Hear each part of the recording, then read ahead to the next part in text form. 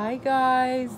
Okay, so I'm here to answer some of your questions. Um, a lot of you have been asking, how do I use this oil? Okay, so this is the face oil. This is Kina Organics um, face oil, Hydration Ki, and um, so I'm gonna show you how I use it. You can use it at any, you know, in any way that you would like as long as you're not using it to wash your face because it's it's a moisturizer. You you know you put it on your face and you let it sit okay? So I'm going to show you how I use it okay? Um, I use it every time after I shower and every time after I wash my face. So to just replace you know the the hydration you know like the moisture back into my skin because the water here is very harsh uh, for all the from all the chemical treatments right? So all right so I literally put two drops okay? Two drops goes a really long way. And in the morning I only put one drop on okay? So here it goes. Don't know if you can see but on two that's I think I put on two three drops but it, that's okay all right so you can see it running down my hand.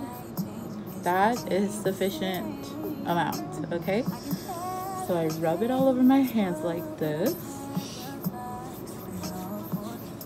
And then I pat my face with it to get the product on my face.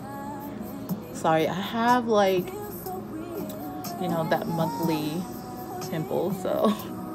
Excuse me yeah so I pat just like that. Ah and I just I love the smell. It just reminds me of home. Reminds me of my grandma. Reminds me of my of my mom my sisters. Okay so now the product's all over my face. You can see how oily I am right?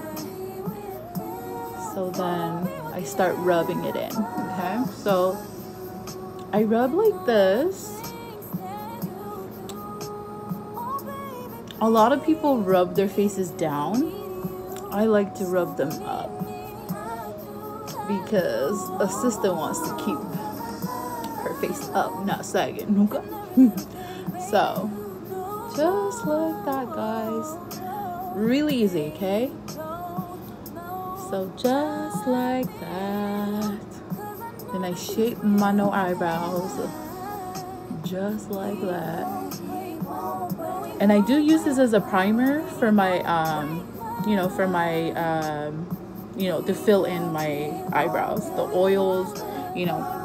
It makes the pigmentation of the you know of the product like a little bit more like dark but not, not too dark but it makes it easy to use less product you know? And what girl wouldn't want to like you know make their makeup and especially eyebrow stuff, you know, last longer. So anyway, just like that. And then the little leftover, I bring it down to my neck and to my shoulders.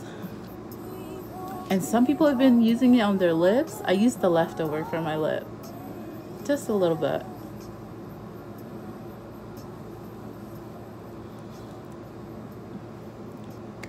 And that's it. Easy peasy. All right, thanks for tuning in, guys.